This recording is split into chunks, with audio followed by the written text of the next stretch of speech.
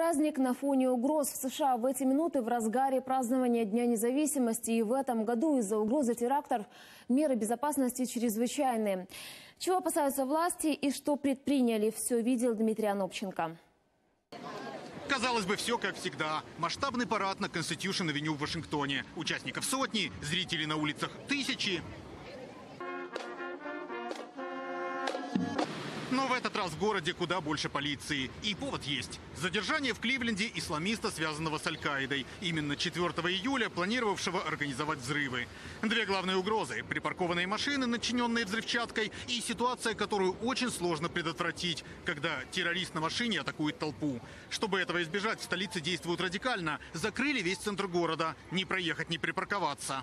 На каждом квартале полицейские машины и пустые автобусы, которыми перегородили дороги. Видите, их не один, не два и не три. Они вдоль всех улиц, которые ведут к месту празднования. Для того, чтобы, если кто-либо на машине попытается прорваться в зону оцепления, его задержали еще на подъезде. А это второй уровень защиты. Территорию, где проходят празднования, окружили сеткой в человеческий рост. Каждый должен пройти металлодетектор. Большие сумки и рюкзаки проносить вообще запрещено.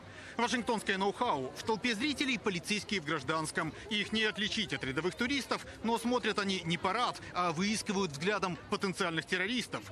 В Нью-Йорке в этом году на улице выгнали 120 грузовиков с песком, заблокировав боковые улочки на Манхэттене. В Бостоне впервые подняли в небо дроны, стараясь заранее вычислить подозрительные машины.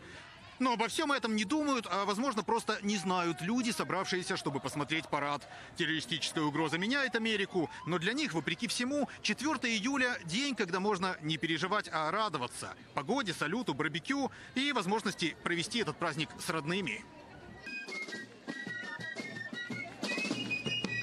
Вашингтона Дмитрий Анопченко, Сергей Коваль, Американское бюро телеканала «Интер».